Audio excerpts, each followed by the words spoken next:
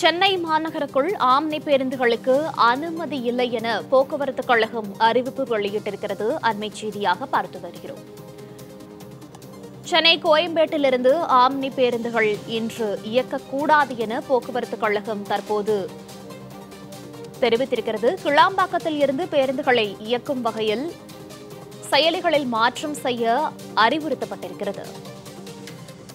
கிளாம்பாக்கத்திலிருந்து பேருந்துகளை இயக்கும் வகையில் ஏற்பாடுகளை செய்ய வேண்டும் என்று போக்குவரத்து கழகம் ஆம்னி பேருந்து உரிமையாளர்களுக்கு அறிவுறுத்தியிருக்கிறது ஆம்னி பேருந்துகளை இன்று இரவு முதல் கிளாம்பாக்கம் பேருந்து நிலையத்தில் இருந்தே இயக்க வேண்டும் என போக்குவரத்து துறை கண்டிப்புடன் தெரிவித்திருக்கிறது. அண்மை செய்தியாக பார்த்து வருகிறோம். விவரங்களோடு செய்தியாளர் முத்துக்குமார் இணைப்பில் இருக்கிறார். முத்துக்குமார் வணக்கம். ஏற்கனவே கிளாம்பாக்கம் பேருந்து நிலையத்திலிருந்து பேருந்துகளை இயக்க வேண்டும் என்று தமிழக அரசு அறிவிப்பு வெளியிட்டிருந்தது. இந்நிலையில் கிளாம்பாக்கத்தில் போதிய வசதிகள் செய்து தரவில்லை என்று ஆம்னி உரிமையாளர்கள் தெரிவித்திருந்தார்கள். இந்நிலையில தற்போது கிளாம்பாக்கத்தில் இருந்து மட்டுமே பேருந்துகளை இயக்க வேண்டும் என்று போக்குவரத்து கழகம் அதிரடி நடவடிக்கை எடுத்திருக்கிறது. தொடர்பான விவரங்கள்.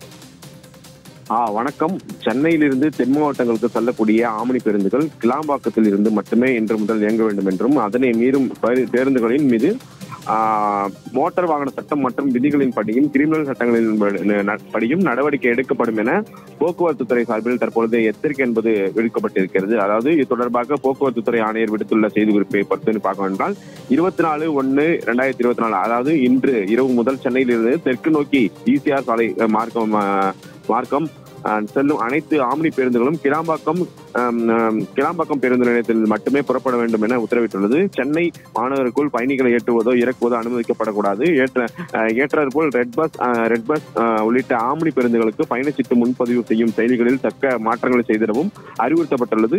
இதை மீறி பயணிகளுக்கு உரிய தகவலை வழங்காமல் அவர்களை தேவையில்லாமல் சிரமத்திற்கு உள்ளாக்கும் ஆம்னி பேருந்துகளின் ஆபரேட்டர்கள் மீது மோட்டார் வாகன சட்டம் மற்றும் விதிகளின்படியும் மட்டுமல்லாமல் கிரிமினல் சட்டங்களின் படியும் நடவடிக்கை எடுக்கப்படும் என எச்சரிக்கை என்பது விடுக்கப்பட்டிருக்கிறது மேலும் ஈசிஆர் மார்க்கமாக செல்லும் ஆமணி பேருந்துகளும் சென்னையிலிருந்து வேலூர் உள்ளிட்ட மேற்கு மார்க்கமாக செல்லும் ஆமணி பேருந்துகளும் சித்தூர் ரெட்டி ரெட்டில்ஸ் வழியாக வடக்கு மார்க்கமாக செல்லும் ஆமணி பேருந்துகளும் வழக்கம் போல் கோயம்பேடு ஆமணி பேருந்து நிலையத்திலிருந்து தொடர்ந்து இயங்குவதற்கு அனுமதிக்கப்படுவோம் என்றும் தற்பொழுது அந்த அறிக்கையில் என்பது குறிப்பிடத்தக்கது. இந்த நிலையில்தான் தற்பொழுது இந்த கோயம்பேடு ஆம்னி பேருந்து நிலையத்தில் தற்பொழுது அனைத்து ஆம்னி பேருந்துகளுமே நிறுத்தி வைக்கப்பட்டுள்ளது. குறிப்பாக ஏற்கனவே கடந்த கடந்த நான்கு ஐந்து நாட்களுக்கு முன்பாகவே போக்கு அந்த ஆம்னி பேருந்து சங்கத்தின் சார்பாக செய்தியாளர் சந்திப்பின் கூட எங்களுக்கு அங்கு ராம் கோயம் கிளாம்பாக்கம் பேருந்து நிலையத்தில் உரிய அந்த வசதி என்பது இன்னும் செய்து கொடுக்கவில்லை. இதனால் எங்களால் போக முடியாது என குறிப்பிட்டிருந்தார்கள். இதனை அடுத்துதான் தற்பொழுது அரசு தரப்பிலிருந்து அதாவது போக்குவரத்து துறை தரப்பிலிருந்து இந்த அறிக்கை என்பது வெளியிடப்பட்டு இருக்கிறது இந்த நிலையில் ஆஹ், இந்த கோயம்பேடு ஆம்னி பேருந்து நிலையத்தை பொறுத்த வரைக்குமே அதற்கான அடுத்த கட்ட நடவடிக்கை என்ன என்பது குறித்து இன்னும் சற்று நேரத்தில் ஒரு செய்தியாளர் சந்திப்பும் இருக்கிறது. அந்த செய்தியாளர் சந்திப்பின் போது முழு விவரங்கள் என்ன என்பது தெரிய வரும். தகவல்களுக்கு நன்றி